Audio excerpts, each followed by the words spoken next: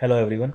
In this tutorial we'll talk about the concept of p-type semiconductor, n-type semiconductor and then we'll also discuss the concept of p-n junction. So let's start uh, with the silicon uh, semiconductor. So if we have silicon then uh, it will have uh, four uh, electrons in the outer orbital and that will all have bonds with the surrounding silicon. So there will be no free electron in this case so everything uh, is occupied. So if we apply the voltage there will be no uh, flow of electricity through the silicon. So now uh, if we dope silica uh, with uh, something which has an extra electron on it for example uh, here we need four electrons for bonds on the all the four sides. So if we use something which has five electron in the outer orbital then we will have one extra electron so this is uh, what we call doping. So in this case we have uh, all the four sides occupied.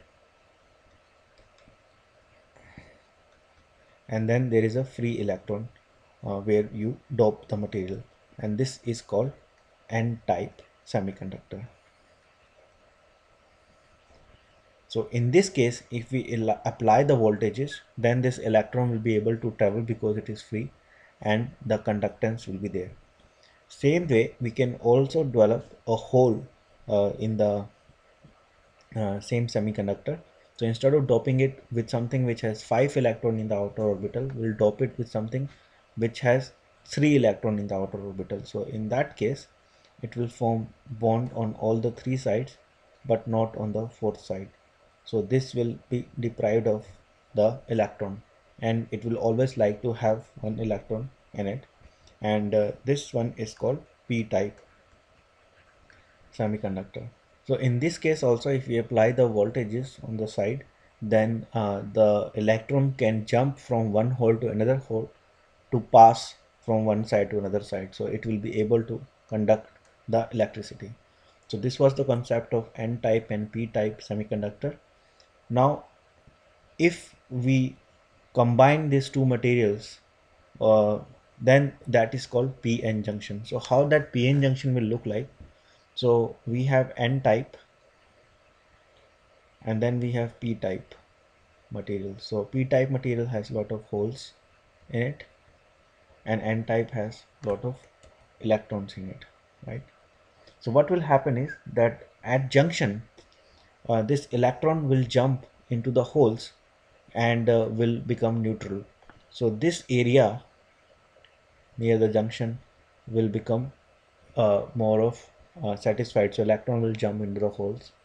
And because this a this part uh, of n type so this is n and this is p so the n type will lose electron. So it will become positively charged. And uh, p type will gain electron. So it will become negatively charged. And because of this positive and negative charge there will be a voltage gradient here. And that voltage gradient will have a positive here and negative on this side. So this is a voltage gradient. We call it delta v. So now in this case what will happen is that if you apply so there are two ways to apply voltage to this junction.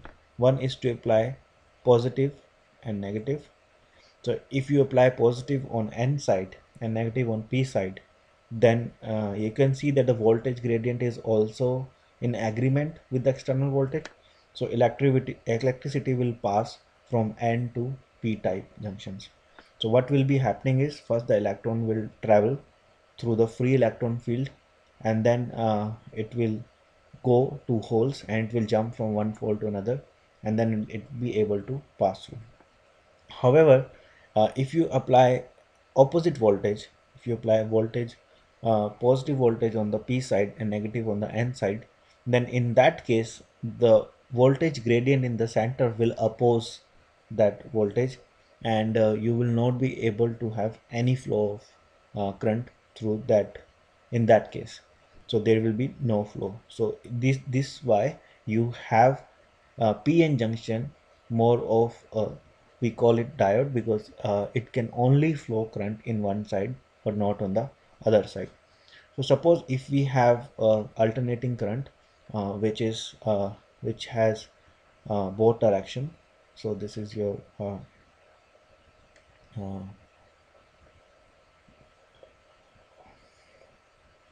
i and this is the time.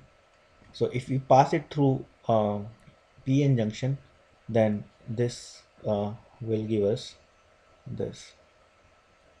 So we will lose any current in the opposite direction. So we'll only gain current in one direction. So that's how you can convert uh, alternating current to direct current using a PN junction. So we'll talk about uh, this concept more in further tutorials so I hope uh, you learned something today and I'll see you in next tutorial. Thank you